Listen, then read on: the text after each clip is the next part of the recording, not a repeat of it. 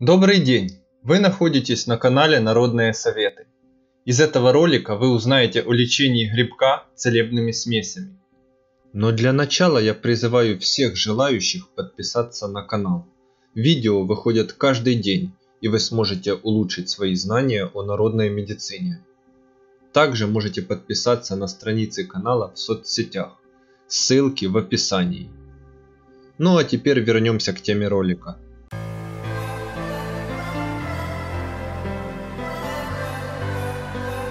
Грибковые заболевания кожи, микозы, это патологии, с которыми люди сталкиваются регулярно. Подобные поражения занимают первое место среди всех болезней инфекционного характера. Такая распространенность патологии обусловлена тем, что далеко не все знают, как правильно проводить профилактику и что делать, если они возникли. Грибковые заболевания являются заразными.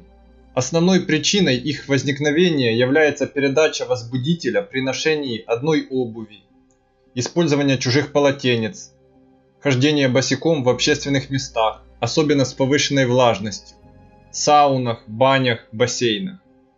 К факторам риска относят травматические повреждения кожи, ослабленный иммунитет, длительное лечение антибиотиками, авитаминоз, химиотерапию, избыточную потливость, переутомление, хронические заболевания нервной и других систем, профессиональная деятельность, связанная с пребыванием в токсических средах, условиях с повышенной влажностью и другими. Классическими симптомами для всех грибковых заболеваний являются ощущение жжения, зуд, как слабый, так и интенсивный, изменение окраски пораженной области, шелушение кожи. А сейчас давайте рассмотрим несколько способов лечения грибковых заболеваний. Рецепт первый. Насыпать в хлопчатобумажные носки сухих цинковых белил или порошок борной кислоты и проходить 4-5 дней. Рецепт номер два.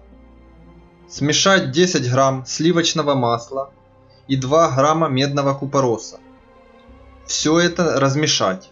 Наносить на беспокоящие участки в течение 7 дней. Рецепт номер 3. Смешать до состояния кашицы 10 мл спирта и 10 грамм прополиса.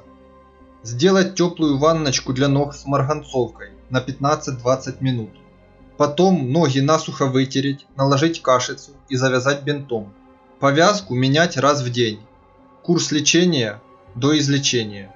Если это видео было полезным для вас, пожалуйста поставьте лайк и не забывайте подписаться на канал. А на этом у меня все. До скорых встреч.